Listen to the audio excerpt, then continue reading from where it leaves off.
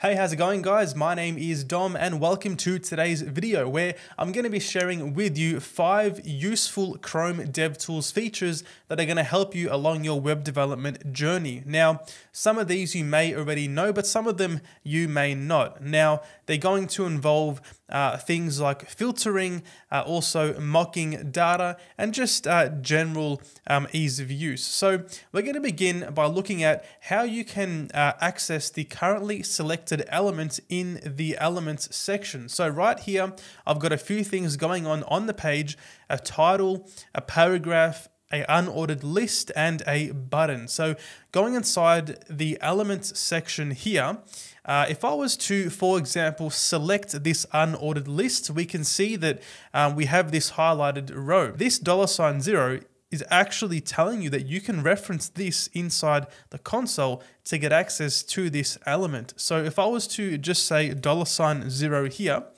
press enter, we have the unordered list.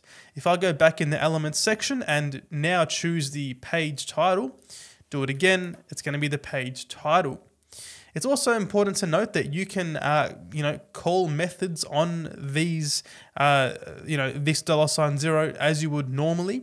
So, for example, if I go onto the button here, I can now say dollar sign zero dot click, and I can access that click method to programmatically click the button. So, all of this here is yeah, just a standard JavaScript object which you can interact with. So that right there can be handy when you are debugging and trying to figure out, you know, which element is causing the issue or, you know, trying to figure out the value for an element, whatever it might be. Uh, this definitely comes in handy. Next on this list, we have live expression. So at the top here in your console, you're going to notice this eye icon.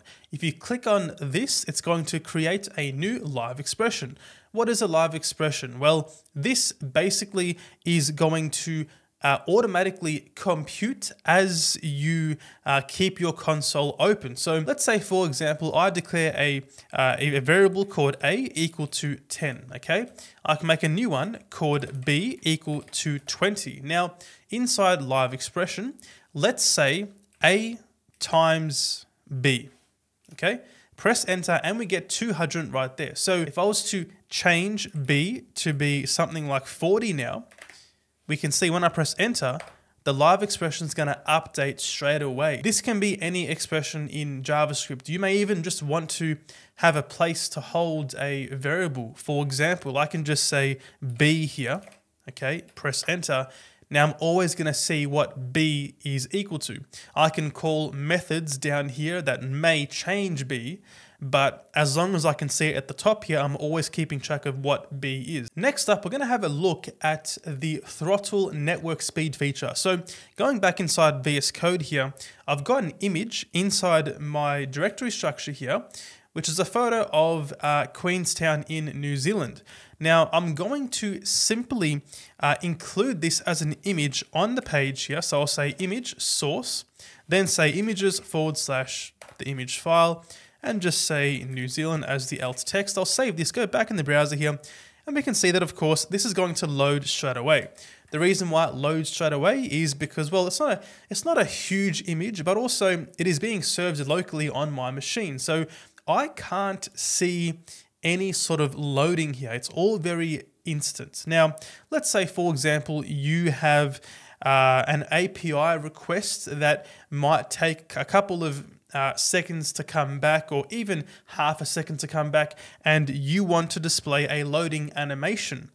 Uh, well, you may be a bit disappointed because you're not able to see that loading animation on your local machine, and the same may go for an image like this one. Basically, whenever there's a request to a external file, image, an API request, and you have a loading animation, in order to see that locally, sometimes, like I said, uh, it's too quick to actually be visible. So we can actually uh, slow down the network speed so you can see things happen. If I go into the network tab here, I can go to this top section which says no throttling.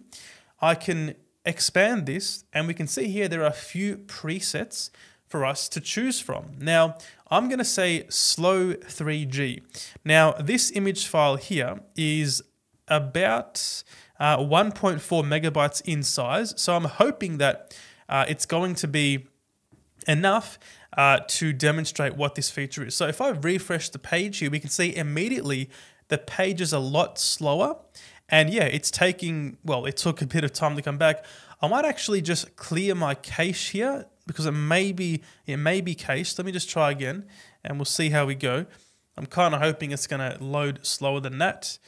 And there we go. So we can see here it's literally loading as I'm talking. And it took, yeah, it took an extra well, few seconds to load that back. So you're able to, yeah, essentially make your network requests go slower. I recommend that you uh, you load the page first with the throttling set to no throttling. And that way you can load the page as per usual because it's going to be async, right? Then once you want to start testing your loading animations, etc., you can switch to slow 3G and perform an action and yeah, mimic that that uh, that that slow network speed. Now, you've also got an option to say offline. If I refresh the page now, it's just going to say no internet. So if you need to test offline apps and you know uh, progressive web apps, things like that, well, you can of course uh, use that feature. So yeah, comes in handy for sure. Next up on this list is going to also involve mocking data, but this time we're going to be mocking the user's location. So when you want to use the geolocation API to get your user's uh, location, uh, if you want to test this in places other than your own location on your development machine, then you can use this feature. So if you go into the top right corner, the three dots here, and go down to more tools, there's going to be a lot of things you can uh, have a play with here. But if I go down to sensors, we have a location sensor here in Google Chrome. I can use the drop down menu and I can change uh, the location. For example, let's set this one to London. Okay. And now this is just telling me what the location is going to be if I attempt to fetch it using JavaScript. So Let's close this off here, then go inside my JavaScript file. I can now say navigator.geolocation uh, dot get current position, and then I'm going to have the success callback just here with the position parameter. And I'm just going to simply console log what the position uh, is going to be. So if I save this, go back in the browser here, we can see that I have previously given permission for uh, local host to access the permission. So I've got the coordinates here in the console. You may need to, of course, allow permission on your side. But once you've got that permission there, we can see the coordinates are going to be 51 and negative 0.12. So these, of course, are the London, uh, you know, position. So yeah, you can uh, mock your location if you need to do some development work and you want to test uh, certain features, etc. Yeah, you can have a go and do that. And last on this list is going to involve filtering your console messages. So if you want more fine-grained control over what gets displayed in the console while you're doing your development work, or you're just annoyed by the amount of uh, things that are going on in the console, you can click on the top left corner on this icon here, and it's going to allow you to filter your messages. So your errors is going to be your console.errors your warning is going to be console.warning, and your info is going to be your console.info.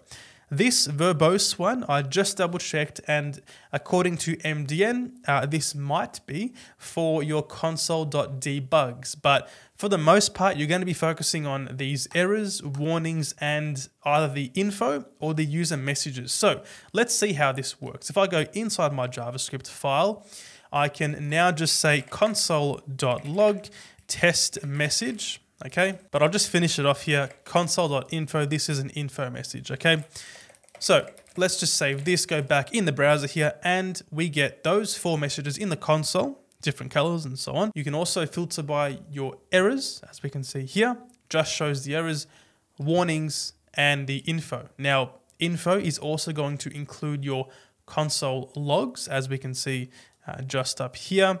But yeah, that is your five Chrome DevTools features, which you may or may not already know. If this video helped you out, make sure to drop a like and subscribe to the channel, and I'll see you guys in the next one.